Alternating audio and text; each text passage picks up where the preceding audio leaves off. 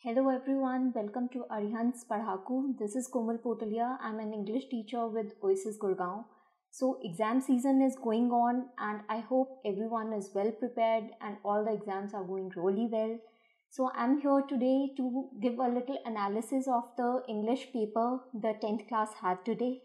So, there must be a lot of doubts and questions, so I'm here to discuss all that. So the first question is, did the questions from the novel section were similar to last two, three years questions or they were different? There was a little similarity in a few questions. The language was twisted a bit, but there was still a little similarity in the questions. But all the questions were not, all the options were not exactly same, but a little similarity. Okay, so the next one is, did the questions asked in the writing skills were similar to past year's questions or they asked some new topics.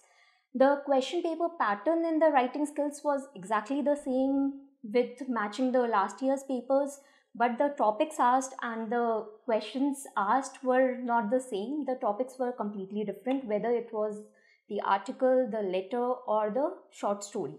The topics were completely different, but the pattern was exactly the same. Okay, the next one is how similar was it with the last year's paper? The similarity between current year's papers and the last year paper was that the pattern. Only the pattern was similar. The questions asked, whether it was reading or writing, grammar, or the literature part, were completely different.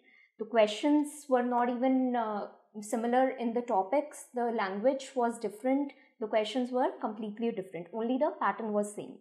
Okay, the next one. How much marks can be expected from an average student? Well, again, that depends on the student, how well prepared a student is, how well he manages his time while attempting the paper, or uh, you know, how good a person is in English. But if given uh, for an average student, if a student is well prepared, this was quite a scoring exam exam paper. It wasn't very difficult, but it wasn't very easy either an average student can score anywhere between 70 to 75 marks. Okay, the next one is Did the internal choices given in the paper follow the same pattern as in CBSE sample paper or there were some changes? The internal choices given in the paper were not very different. The pattern of the paper was similar to the pattern given in the CBSE sample papers. Okay, uh, which section was easy reading writing grammar or literature? For this i would say that this also depends on the interest level of a student whether they are good in writing skills or their grammar is good. But in general if you ask me then the reading part level was a little difficult. The language wasn't very simple. It was on a little difficult level. So the reading part was uh, we can say that it wasn't very easy was the paper lengthy with respect to the time limit of 3 hours? That depends on the time management skills of a student. The paper wasn't very lengthy, it could have very well uh, been uh, completed within the time limit given of 3 hours. It could have been managed very well. What was the difficulty level of the question paper? The difficulty level of the question paper was uh, average. It wasn't very easy, but it wasn't very difficult either. It was quite average. Uh, a well prepared student, student could have easily attempted all the questions within the time limit given and could score good marks.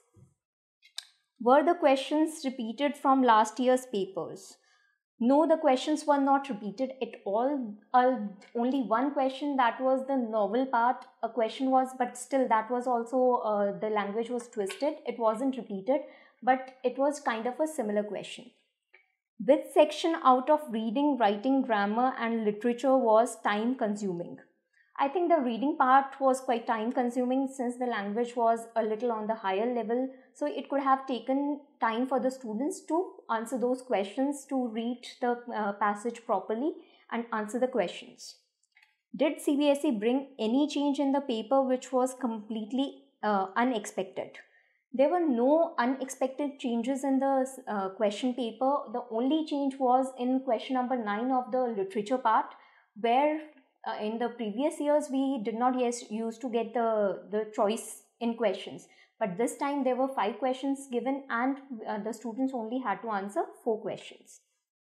Did the questions from the literature section were similar to last 2-3 years questions or they were different? No, there was no repetition in the questions in the literature part. The questions were totally different. The targeted lessons were completely different. So there were no repetition in the literature part. Okay, we have the question paper with me and like if we see the writing skills part. Question number 3 the topic is evils of child labor. It is a very common topic. Anybody could have written very easily, very well prepared. A student could have been about this topic. This is a topic which is very well discussed and very scoring. At the same time, question number four in writing skills, there were two options given in the short story.